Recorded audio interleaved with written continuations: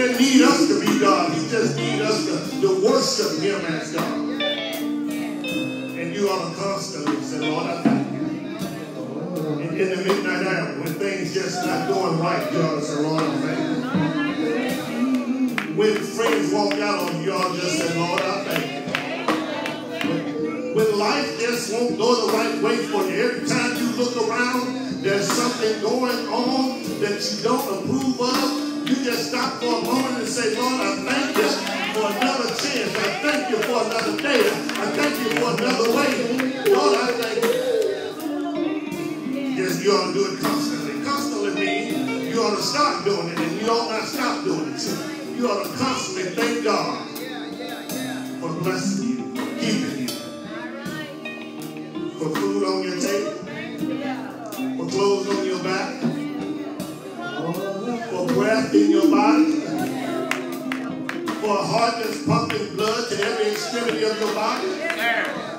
Good place to say, Lord, I thank you for being able to inhale and exhale.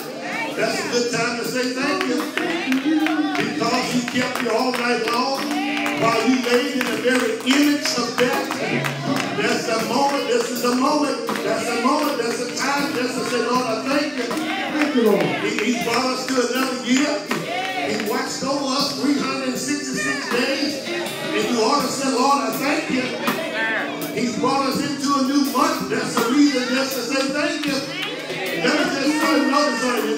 Not because you've been so good. It's not because you're so healthy. It's not because you have your brain working the right way. It's only because God has blessed you one more time. And then you to just Lord, I thank you. You, ought say, Lord, I thank you. When spouse is not acting right, say, Lord, I thank you. When you can't find a boyfriend or girlfriend, say, Lord, I thank you. When baby's not, not going to sleep at night, say, Lord, I thank you. In the midst of thanking him, God is able to perform a great miracle in, in your midst. You ought to just say, Lord, Lord, I sure know thank you. And, and you know you don't do it on your own, don't you? You know you don't have control of your own self, do you? It's because of who God is and what he has already done in your life. And that's why you say, Lord, I thank you. I just thank him. I just thank him. I just thank him. I just say, Lord, thank you. And every time I think about who God is, I thank him for who he is. Every time I think about what God has done, I thank God for what he has done. Every time I think about where God has brought me, I, I thank him for where he has brought me. I thank God for who he is. He is God. I know that some folk couldn't do it, but I know God did it. And he did it all by himself. Hallelujah to the Lamb. It's, a reason to praise him. It's a reason to honor him. Because he is. He is God. Hallelujah. There's no God like our God. Amen. There's no God like our God. So you're right. There is no God like the God we serve. And we come today to thank him. Don't take this moment for granted. Don't take this moment for granted. Right. Some people woke up this morning and wasn't able to make it to, to 10 o'clock. Some people laid down last night and didn't get up this morning. Don't take this moment for granted. Some people started on Monday with us, but they, they didn't make Tuesday. Don't take this moment for granted. We didn't deserve to be here, but God gave us another chance. And he gave us another chance to raise our hands and do our dance to thank him for who he is. And I just thank him for, for what God has already done. He is. He is the amazing. He is the anointing. He is the awesome God. And there is not like him. Not even one. There's not even one like him. There is no one who compares to him. If you search the world over, the songwriter said, There is none like him. He said he went up to the highest mountain. There's no one like him. He went down to the valley there's none like him. The psalmist says in 139, he said, if you go down to the depths of hell, behold, God is there. No. If you rise to the to the heights of heaven All right. if you look around, God is there. Okay. If you had to catch the wings of an eagle, the God that I know, He's right there. There is no God like our God. He is an omnipotent God. He's all powerful. He's omniscient God. He sees all and he knows all. He's a sovereign God. He does what he wants to do, when he wants to do it, to whom he chooses to do it, any way he chooses to do it, because he's God. And he is an omnipresent God. He's all places at the same time. Everywhere he goes, he bumps into himself because he is God. Hallelujah to the Lamb. Thank you, God, for reminding us that, that we all praise him. And we all thank him for who he is and what he has already done. Hallelujah to the Lamb. We call your attention to Proverbs chapter 16, verse number 7. In the Old Testament, the book is Proverbs, the chapter 16, the verses number 7. Proverbs chapter 16, verse number 7. Proverbs chapter 16, verse number 7. We serve the awesome God. And we've come to lift him up today. Proverbs chapter 16, verse number 7. When you found it, you will discover these words. When a man's ways please the Lord, he makes even his enemies be at peace with him. I want to talk about when God is satisfied. All right. All right. When Now. God Okay. is satisfied. That's all right. Make him let you. I won't forget working at OxyChem chemical plant. Every six months they would have a review, and then they would have an annual review of how well you've done. And I, I had already heard it through the grapevine that I was going to have a negative evaluation every year. I've already heard that even though I was always before time, mm-hmm. you see, there's a difference in being in time and on time. Mm-hmm. When you're in time, you're walking in the door. Mm-hmm. When you're on time, rather, you're walking in the door. When you're in time, you're already sitting in your seat. So I already knew I had a reputation of being there 20 to 45 minutes before my change of shift. So I knew they couldn't get me for being late. I already knew that I, I had not penciled in none of my numbers as I made my rounds, so I knew they couldn't get me for falsifying documentation. Right, right. But the grapevine said that I wasn't going to get a proper evaluation because my skin was my sin. Mm. Ah, All right.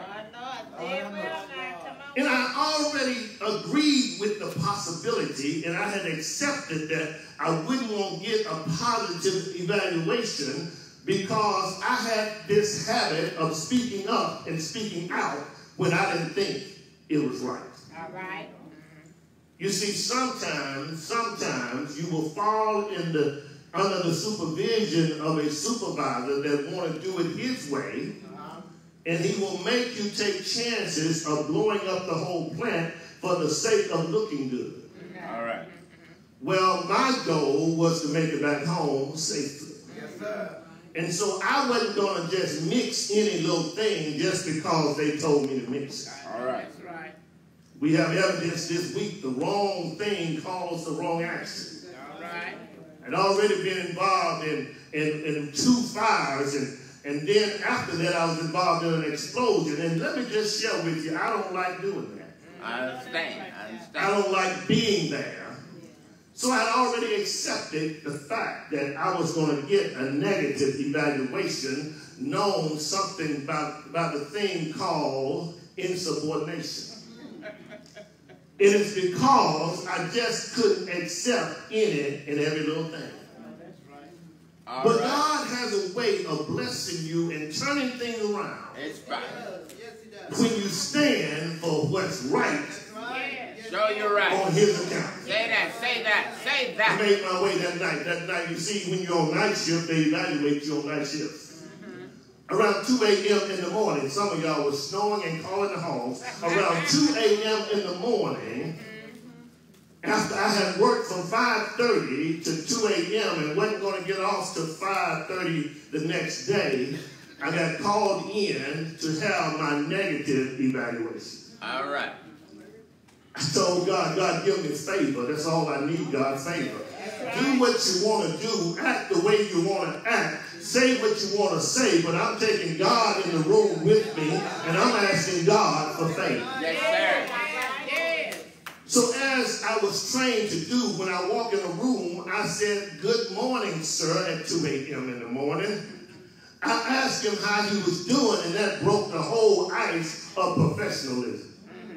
You see, young people, when you act like you got sense, it will break the ice that you don't know that is even breaking. All right.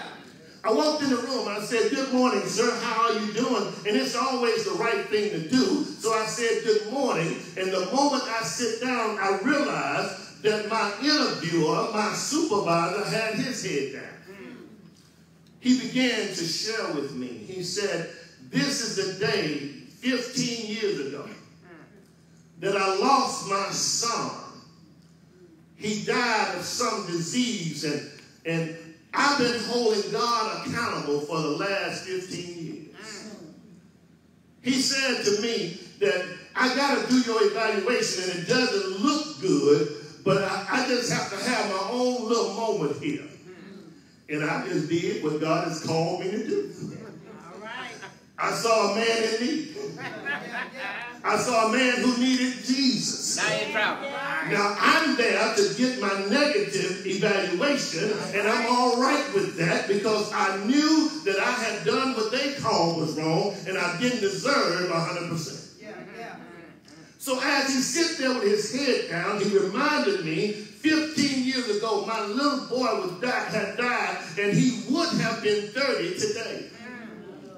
And I know I grew up in a Christian home, but I've been holding God responsible for it all of these years. And then I went in. Mm-hmm. All right. I said, You do know that God is still God.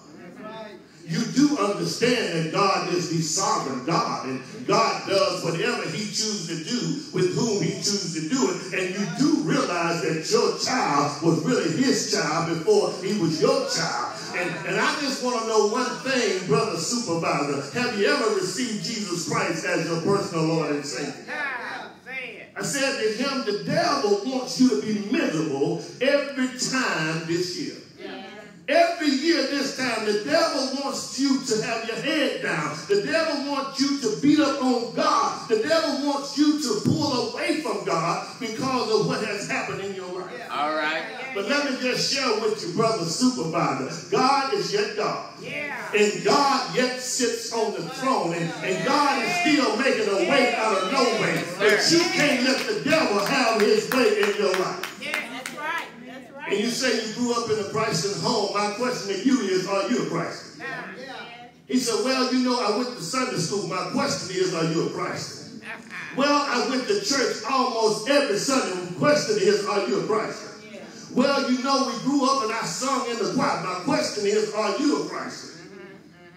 So, well, you know, there was a moment where I got baptized. My question is, if baptism, which I know it hasn't saved you, are you a Christ? And have you really ever confessed in your heart, believed and believed in your heart and confessed with your mouth that Jesus is the Son of God, and out of obedience unto God, he gave his life as a ransom for you and me. Yeah, yeah. Now we're in a negative evaluation moment. we, we're in a moment where I, I'm supposed to walk out of there with an X on my paper. I'm supposed to walk out there with less than 70% on my paper. And I began to share Jesus with them. Uh-huh. I told them that it was over 2,000 years ago Yes. That Jesus knew that this moment would take place. Yes, he did. I told him that over 2,000 years ago, Jesus was given by God and God gave his only begotten son. Over 2,000 years ago, brother supervisor, don't you know that Jesus died on a skull hill called Calvary and he died for you and your son and mine? Say that. Say it. Say it. Yes, yes. Begin to say, well, you know, uh, they used to say that in church, but I've never ever trusted it enough to invite him into my life. I said, well, you know, it's about 2.15 now. This interview should have been over in 10 minutes, but we still talking about Jesus. You haven't opened the interview up, so let's keep talking about Jesus. You can be saved right here, right now, in this room. The choir doesn't have to sing. You don't have to be at a church, but you can be saved right here, right now. All you have to do is bow your head, brother supervisor, right here in this room, and confess Jesus as Lord. Invite him into your life, and you can be born again, and you don't have to live under this dark cloud any longer. That day, Come on, Doc. with my skin being my sin, All right. with my heart and my mouth messing me up. He bowed his head about 2.30 a.m. that morning. Received Jesus Christ in his life as his personal Lord and Savior. And all of a sudden, I see him picking up the pen and, and scratching this out and, and marking this out and Xing that out. And that what should have been a 60 when I walked out of there, it began to look more like a 95. And I thank God that when a man's ways please the Lord, he will make even his enemies his friends. So you're right, I Doc. just stopped by on my way to the rapture this morning to let you know that when your ways please the Lord, he will even make your enemies change your way. Come on back. He will make even your enemies bow down and worship your God. When we look at the text, the wise writer, the wise writer is writing here, and, and he's saying to us in, in verse number four of, of Proverbs 16, he says to us, commit your work unto the Lord. Uh-huh. And when, when you commit it unto the, the Lord, your thoughts will be established. If you commit your ways, commit your work unto the Lord, God will bring it to pass. Because there are some things that you're hoping for, I hope. There are some things that you have goals for, I hope. There are some things that you're looking to do, I hope, that you can't do it in your own strength. You need the Lord to do it for you. You see, when we teach young people to dream, we ought to teach them to dream the biggest dreams. We ought to teach them to dream of stuff that they can't accomplish on their own. We ought to teach them to dream of living somewhere other than where they grew up. We ought to teach them to dream of driving something that they've been riding in. We ought to teach them to dream on having things that they never thought they would have. Right, yes, Lord. You have to teach young people to dream of a great tomorrow. Yeah, yeah. This month we celebrate Dr. King's birthday, a legacy, one of the greatest men to ever live, especially in the United States of America. And he taught us to dream. Yeah, yeah. Let me just say to you, the dream should not have stopped in the 60s. All right. The dream ought to continue to live. Some say that Dr. King dreamed and President Obama became the dream, I beg to differ because he's still dreaming and we ought to still be making history. All right. We have to teach young people that there is more to Houston, Third Ward, more to Fifth Ward and Sunnyside to see there are some places that you can go that you never imagined, but you have to dream. That's right. Little girl, stop being so down on yourself. Forget if you're the right size or you have the right look or you, you carry yourself the right way. Get with the Lord and watch God do some great things with you. Yes, sir. Yeah. Oprah Winfrey, as a 10 year old little girl, was, was rough on the eyes. Yeah. You get there, ask your mama when you get home. She wasn't shaped like she's shaped now. She wasn't a Coca-Cola bottle. Her skin was darker than the folk in her neighborhood. But a white woman came through one day and said, You are just a pretty little girl. And she will testify today that right there in Cosmopolitan, Mississippi, she dreamed of being more than what she was. Young people have to dream of being more than what they were born in. They have to dream of being more than what they were established in. They have to dream of going farther than what they have accomplished already. But they can't do that if they keep looking back and looking at what they were born in. Right. Yes, You Lord. right. Come on, Doc. Barbara Jordan, young girl, born in Third Ward, hmm. worked in Fifth Ward, and ended up at the nation's capital. You have to understand that we can make things better than what they are. Right. Right now. Our communities ought to be better. Our children ought to act better. Yeah. Yeah. We have to invest in them and tell them that they can be better than what they are. Right. Yeah. And make sure you understand that it's not about money. It's about your ways pleasing the Lord. Yeah. Yeah. My daddy was a sharecropper. That means that we could never break even. Some people said they were born in the country, but, but we were reared on a plantation. All right, all right. My wife like to talk about we grew up country. I said, y'all, y'all didn't. We grew up on a plantation. All right, Y'all just grew up where dirt and trees were. We grew up on a plantation. All right. did. Where the house we lived in didn't belong to us. Uh-huh. Where, where the money daddy made didn't belong to him. And where we live was so far off the road, we have to run a quarter of a mile in order to get to the bus stop in the morning. And regardless of how much he made, it was a, it was a hard pressed situation just to break even at the end of the year. Yes, yes. But when daddy died, he left some things and he left a legacy. What I'm saying to you, and he left some money. Mm. What I'm saying to you is it doesn't matter how much you make. Your ways are to please the Lord. Give God his 10% and he can multiply whatever you have. So you're right. The text says, the wise writer said, commit your thoughts to the Lord. Commit your, your desires. Commit your works unto the Lord and he will establish it. God can do more with what you have than you can do with what you have. God has proven it over and over again that, that he can bless you to be all that you want to be if you just get, commit your ways unto him. Says, commit your works to him. And whenever a man's ways please God, he makes even his enemies be at peace with him. All right.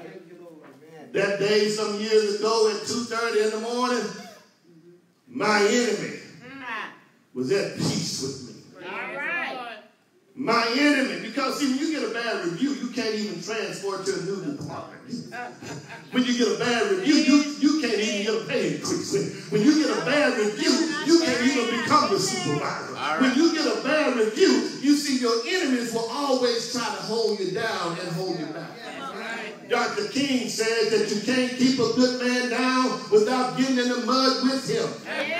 Don't you understand that you can keep rising and rising again if you just commit your ways unto the Lord? Whatever meetings you go through. So you're When you're in a board meeting and and other folks are getting ready to eat, mm-hmm. you ought to commit your ways to the Lord. Yes. Bow your head in this room No, that's right. and thank the Lord for the food. Yes. Before you eat it, right in the presence of those with suit and ties on, right in the presence of millionaires. Because when you do what's right to do, then God has a way of blessing you right in the presence of millionaires. Bow your head. When I say bow your head, I ain't talking about. All of a sudden, when it's time to pray over your food, you get fidgety, making folks think you rubbing on your head and, and looking down on the floor and, and acting like you. You ought to proudly honor your God when you go out somewhere. You ought to proudly praise Him for what He's done for you. The man's ways please the Lord. When it talks about a man, it's talking about human beings. It's talking about male and female. It's talking about men, women, boys, and girls. Whenever a man, woman, boy, a girl's ways please the Lord, he makes even his enemies behave Yeah. and be at peace with him. So you're right. Now, I didn't know what God was going to do that night.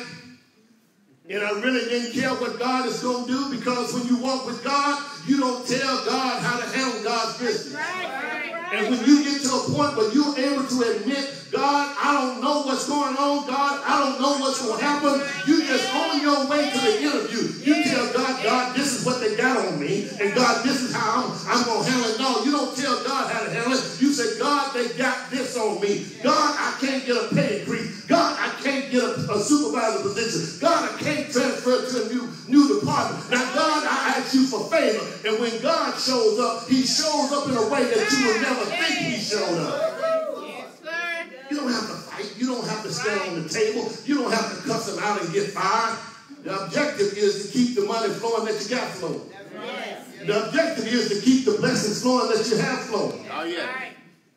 There's a very cool video out there. It's very cool where this guy was was uh, uh, an employee of a coffee shop, and he decided to quit one day. And I advise you not to handle your job like this. But it was really cool. It was really neat. I advise you don't handle yours. He he was getting ready to, to leave, and that was his last day. And evidently, he had not given a two weeks notice. I advise you to give a two weeks notice because you may get paid for those two weeks. He didn't give a two weeks notice. So the, the, the coffee shop was filled with customers. People in the window looking from the outside through the window. And he said he called his supervisor name and his manager's name and said, hey, hey. He called their name. Hey, Joe, hey, Bob, I just want to let you know something. I got a message for you. Now, everybody in the coffee shop is looking. He said, I, I brought my friends here to help me to get my message across. So the brother started walking, walking. And he said, I am quitting this job today. I'm leaving. I mean, it was cool. I mean, it looked good. But don't quit your job like that. And they sung a song in front of all of the customers, in front of all the people walking down the street. And he quit his job today because he was going to open up his own coffee shop.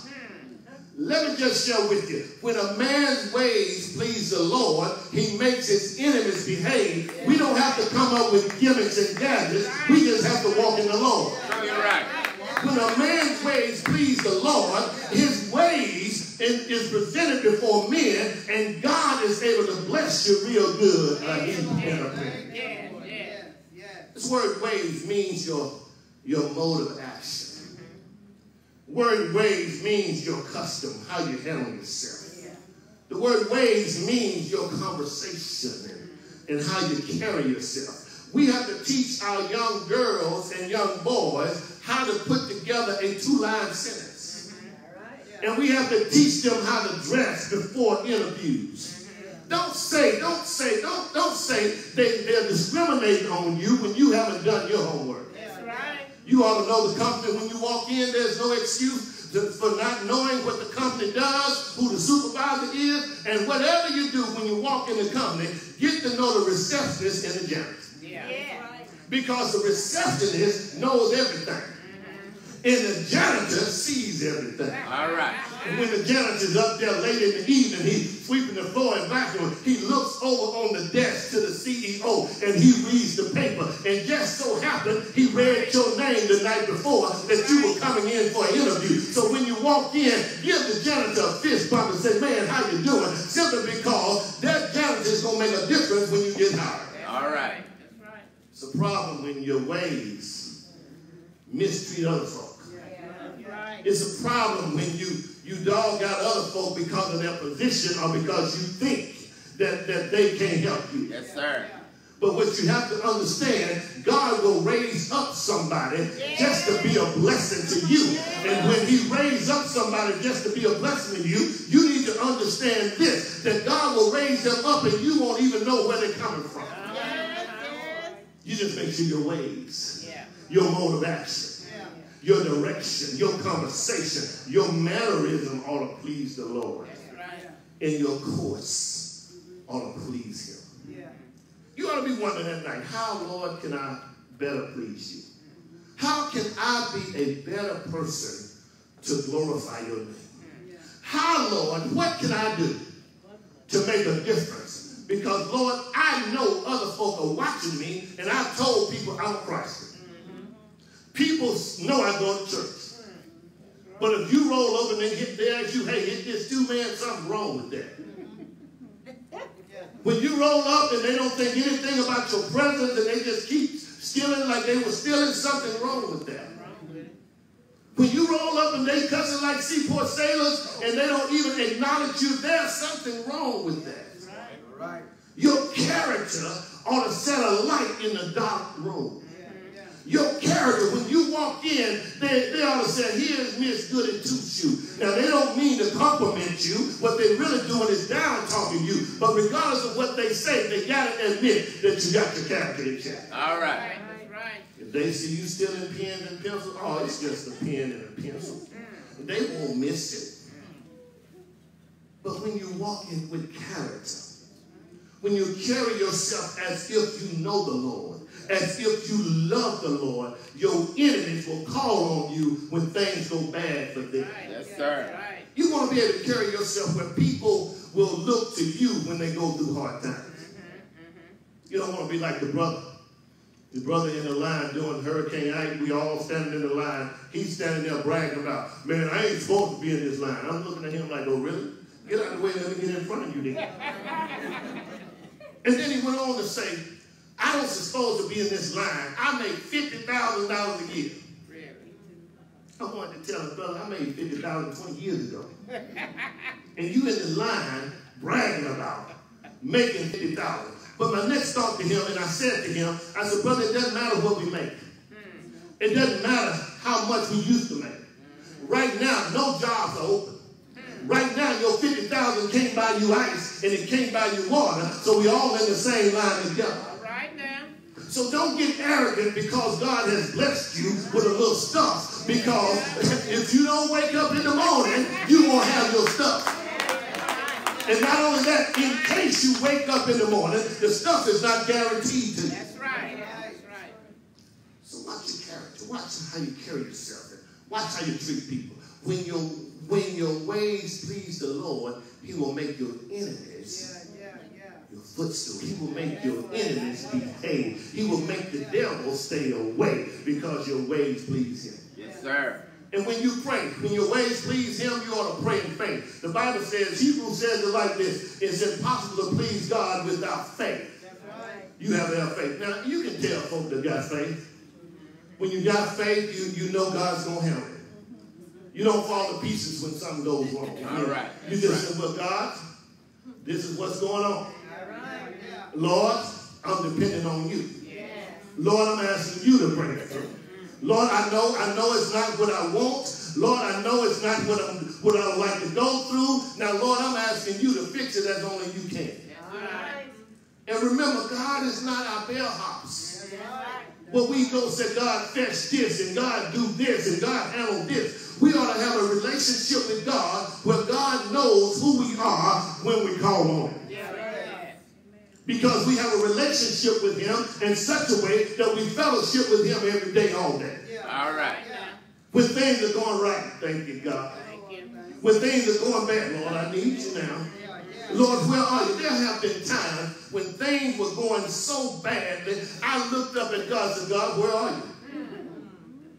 During the 2016 election, I was like, God, really? God, you sure got a sense of humor. During today, I'm saying, God, God, you know how to call America to her feet and bow down on their knees.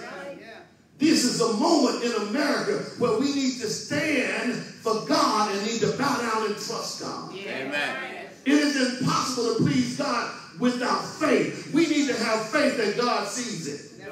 We walk around here upset like God is high. Like God is blind. God doesn't see it. Let me tell you, God sees everything. God knows everything. He knew it before it took place.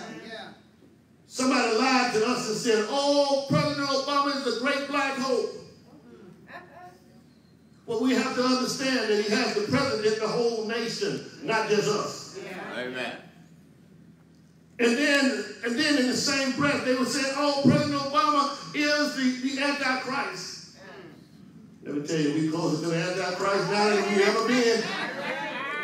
Because the Antichrist is bold. He, he, he stands, and then he influenced other folk to be bold. You know, they don't wear hoods anymore. They come out boldly with their stuff now.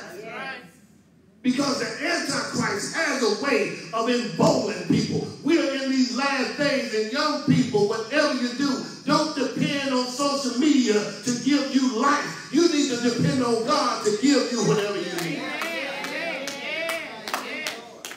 Children are so upset because they don't get enough likes, because they don't get enough shares. Children are, have low self-esteem because, because people don't comment on their page.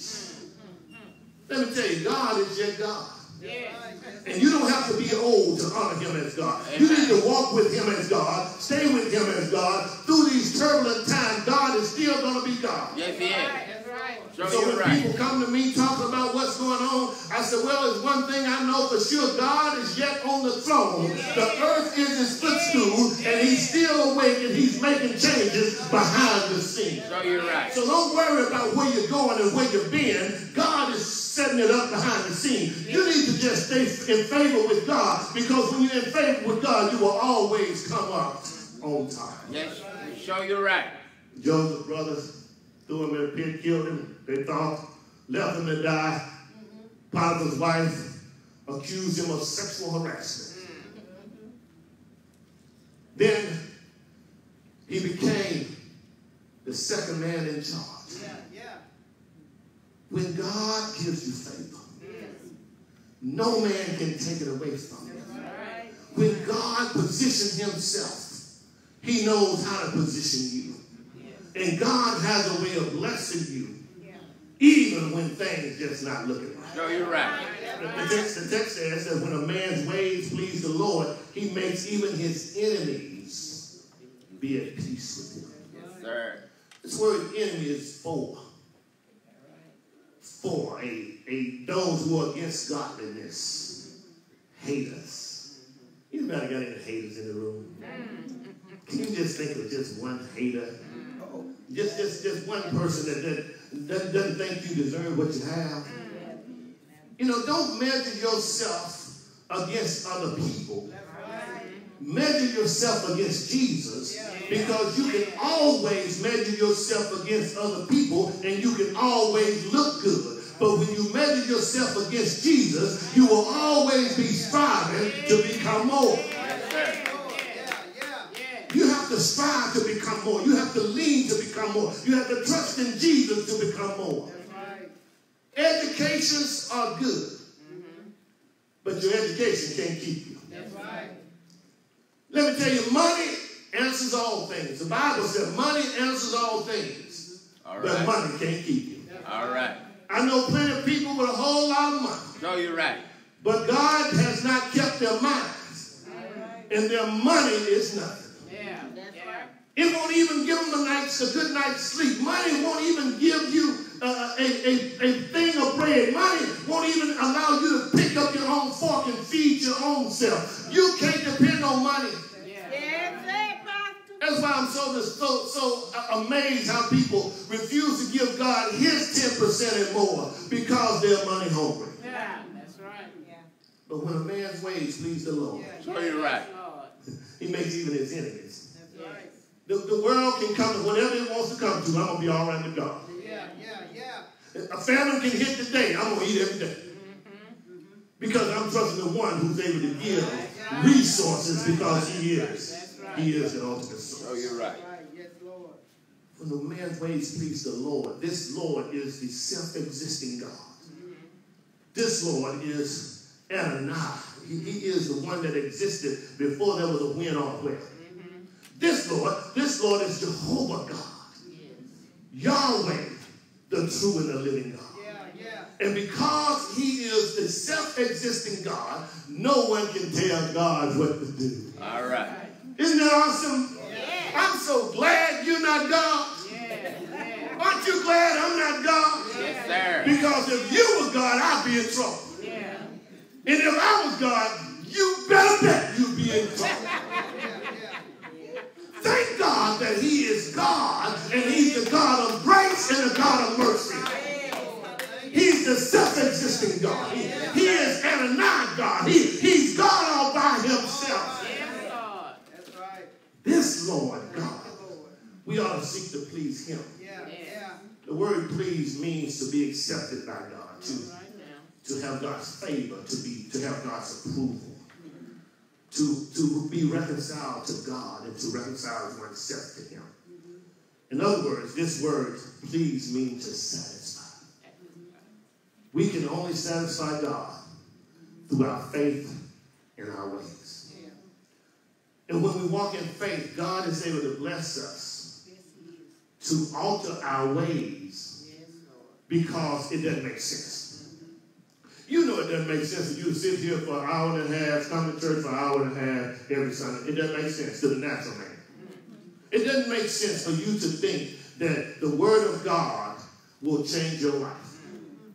It, it doesn't make sense to think that you can read some stuff off the paper, get it in your head, let it drip into your heart, and it will make a difference in your life. It really doesn't make sense. But God has never made sense because God cannot talk like this. The first shall be last.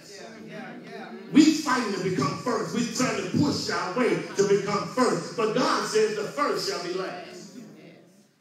God says that the last shall be first. God has a way of maneuvering us and positioning us where we can become first. Isn't that awesome? Because He's God. He is the self-existing God. He is God Himself. And, and when it comes to peace, this, this, this Hebrew word is shalom.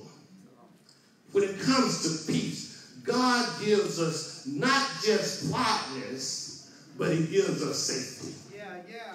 God gives us a peace of mind. He, he gives us safety in our mind. He gives us prosperity. Mm-hmm. This word, this word peace means that which is perfect. Yes. God will give perfect peace if we keep our minds stayed on Him. All right. Right. He gives right. us perfect peace. He gives us perfect peace. This word peace means to be awarded. God awards you when your ways please Him. God awards you. God gives you a covenant with Him. This word peace means to create a covenant with Him, an agreement with Him, to come in contact with Him. And the only way that you can have an agreement with God is that you accept the fact that God is right and you are wrong. Yeah. All right. Yeah. You have to accept the fact, God, I messed up. God, I've fallen short. God, I'm not what I should be. God, please make me whole and give me peace. Yes, sir. When a person, when a person has peace, they can have rest. That's Amen. right. They can they can move without anybody upset them. So you're right. I mean, I mean, some folk can get on your nerves. I mean, they can just really throw you off. I mean, you, you got one or two in your family. You got one or two in, in, in, in your friend, your friendship. But but at the at the end of the day, you ought to have peace Yeah, with the Lord. right. That's right. The late Dr. Bill Graham would say that we ought to have have wait, we ought to make peace with God. and as we, we make peace with God, then God is able to bless us to have peace within ourselves. Yeah.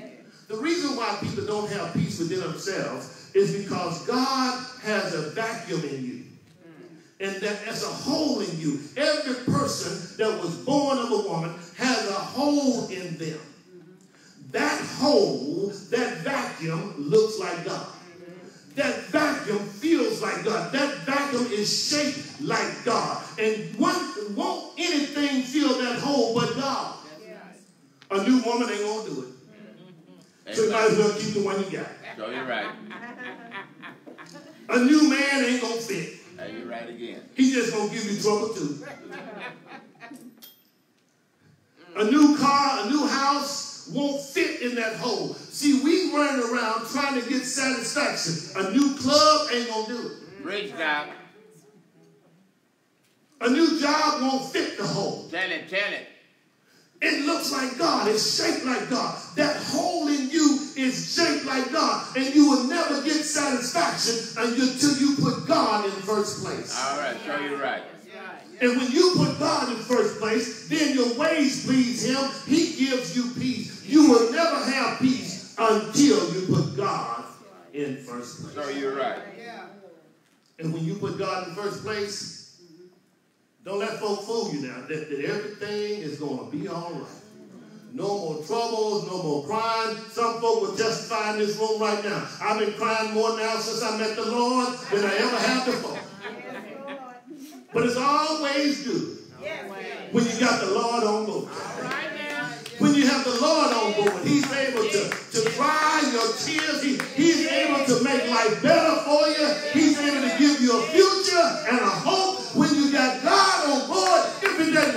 right now, that's all right, Lord. I know you're working behind the scenes and you're putting things together on my behalf. When you got God on board.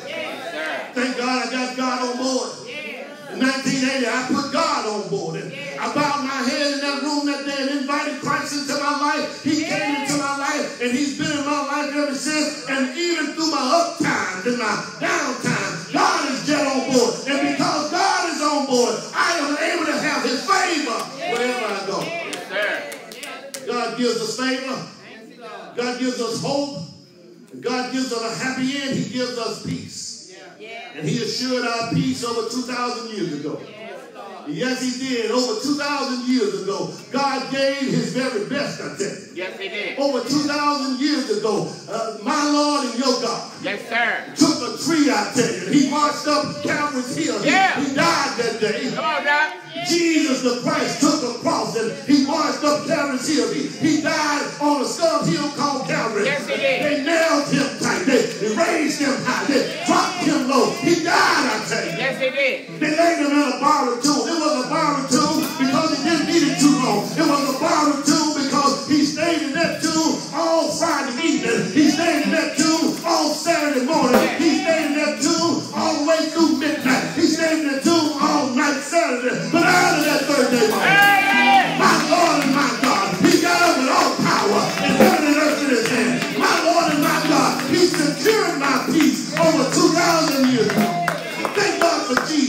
Jesus. He made a way out of no way. When my ways please him, he makes my enemies be at peace with me. Yes, sir. So you're right. Hallelujah to the Lamb.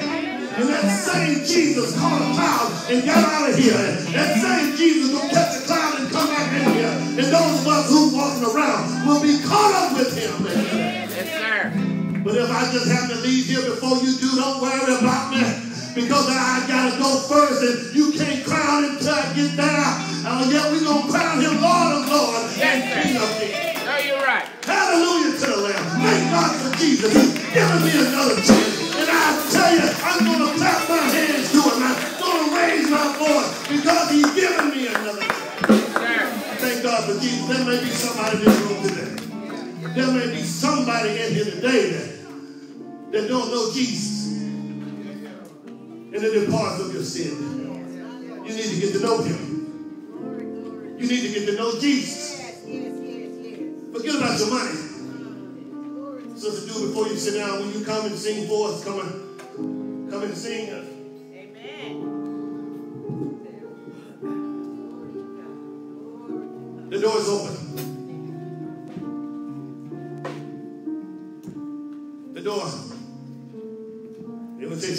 that you need to come to Jesus just as you are? Will you come? The door is open. And she she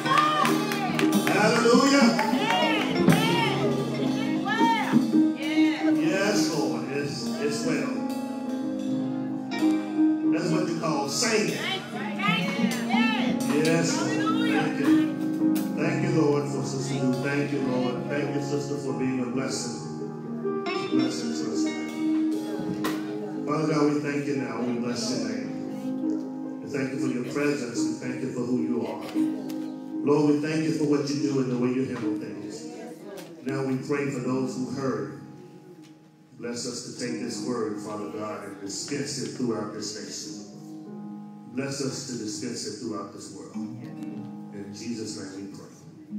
Amen. Let me thank those who joined us on live broadcast. Thank you for joining us here at the New Beginning Church, 4251 Schurmier Road, Houston, Texas, 77048 USA. If you want to contribute to our ministry, you can do so by our Cash App. Our cash tag is NBC Souls. Hashtag NBC Souls. Thank you so much for joining us. God bless you and God keep you as our prayer. One, we thank God for who He is and what He's already done. We thank God for